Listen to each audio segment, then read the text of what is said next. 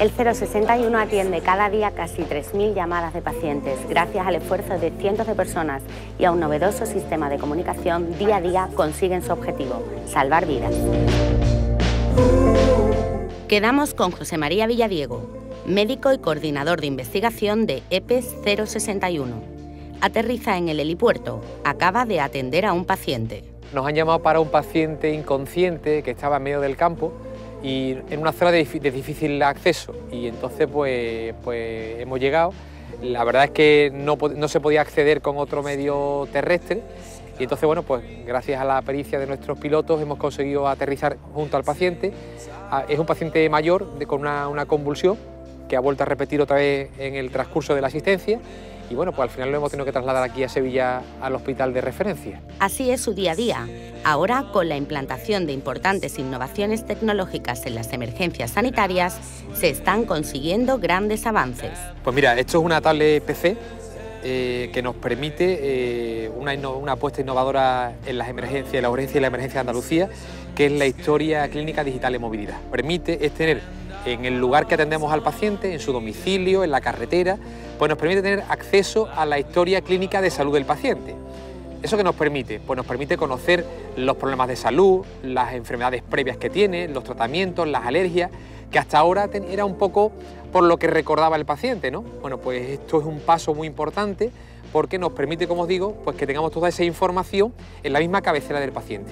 La información que yo escribo, que yo le transmito a otro médico, también está bien recogida y, sobre todo muy legible. Es un aparato que se puede caer, que se puede mojar y que evidentemente está adaptado a las características del medio al que va a trabajar, que es un medio extrahospitalario, un medio árido, porque pues eso, puede haber agua, puede, haber, puede caerse, puede haber algún tipo de, de componente biológico de sangre que pueda caer incluso en la tablet. Ahora mismo todas las UBI móviles de la empresa pública de emergencia sanitaria, el 061, la tienen todas en Andalucía.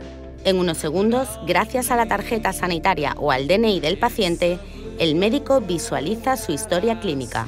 Pueden ver eh, el acceso a la historia digital mediante una tarjeta que la metemos en la, tableta, tiene aquí un lector, yo accedo a la tarjeta, le digo que quiero eh, leer la información que está en la tarjeta y automáticamente la tableta obtiene la información que hay en esa tarjeta y ya identificamos al, al paciente. Todas las UBI móviles están dotadas de terminales inteligentes para la ayuda a la navegación y la recepción inmediata de la ubicación y datos del paciente. Como podéis ver, el terminal embarcado es otra de las apuestas importantes por la innovación en, en EPES. ¿no? ¿Qué nos permite el terminal embarcado? Son dos aspectos importantes. Por un lado, la información clínica del paciente. Como podéis ver aquí en la pantalla, aparece el motivo literal por el que nos consulta. Aparecen los datos del paciente en cuanto a nombre y apellido, edad y eh, sexo del paciente. Y la ubicación desde donde entra la llamada. Con eso, mediante un sistema de, de GPS, pues nos dirigiría hasta el lugar, como veis, traza el recorrido, hasta donde tenemos que llegar a atender al paciente. Pero hay otro aspecto muy importante en este terminal embarcado que es la gestión más eficaz de la flota, de las flotas de ambulancias que tiene esta empresa. ¿no? ¿Por qué? Porque desde el momento que salimos hacia el lugar, activamos esta tecla, que salimos eh, hacia el lugar, cuando llegamos al lugar también eh, pulsamos la tecla, entonces en todo momento, desde la sala de coordinación, van a conocer dónde están ubicadas las ambulancias y en qué momento de la asistencia están. En una emergencia sanitaria el tiempo siempre corre en contra, pero de esta manera los tiempos se acortan y los riesgos disminuyen. Estas nuevas tecnologías y estas innovaciones se han incorporado en los últimos dos años, se han venido incorporando y estamos completando ya el desarrollo e implantación total. Han supuesto una ganancia muy importante en seguridad, eh, seguridad, eh, puesto que los sistemas son más robustos. El sistema de emergencia es más robusto hoy con estas nuevas tecnologías. Para el ciudadano supone instrumentos que facilitan que la respuesta sea más rápida y que los profesionales sanitarios cuando tienen que atender a estos pacientes, estos ciudadanos, disponen de toda la información que necesitan en cualquier lugar que le atiendan. La información que se genera en un episodio de atención urgente y emergente va a ser compartida y conocida por todos los profesionales sanitarios que tratan a este paciente.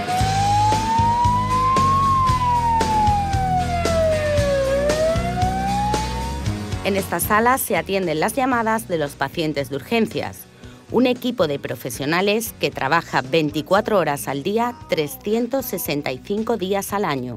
Estamos en un CCV, un Centro Coordinador de Urgencias y Emergencias, y tenemos ocho en Andalucía y este es el de la ciudad de Sevilla. Hay gente trabajando 24 por 7, 365 días al año y consta de teleoperadoras, mm, un enfermero coordinador en horario de mañana y médicos coordinadores. Con esta pantalla se facilita la localización de toda la red de atención urgente y emergente de Andalucía.